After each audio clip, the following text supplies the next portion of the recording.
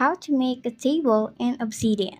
What's up everyone? For today's video, I'm going to show you how to make a table in Obsidian. Make sure to watch until the end of this video to learn the step-by-step -step tutorial in order for you to do this yourself. First step is to open the Obsidian application on your device.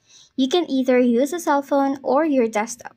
But as you can see here in my video, I'm going to use a desktop. Of course, if you don't have an application yet, you might want to download it through any of your application store. Once you're done and downloading it, you can go ahead and open the application and you will be directed into this homepage.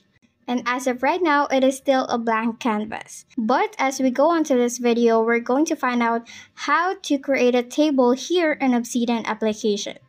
First is to go to Obsidian settings.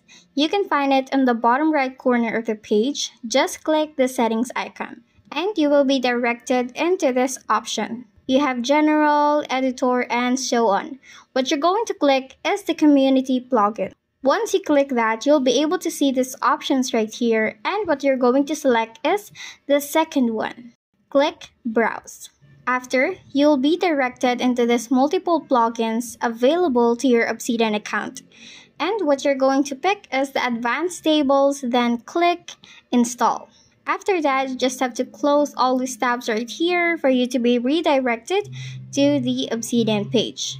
Right now, since you have already downloaded the necessary community plugins, what you're going to do is to create a blank canvas. Using the symbol right here, just type in this one and column 1, and so on right after that. For adding rows for your column, type in this row along with the symbol right here. Also, you can change the view in here if you want to see it in a reading mode or in the edit mode. And that's it. That is how you can create a table in Obsidian. Thank you so much for watching.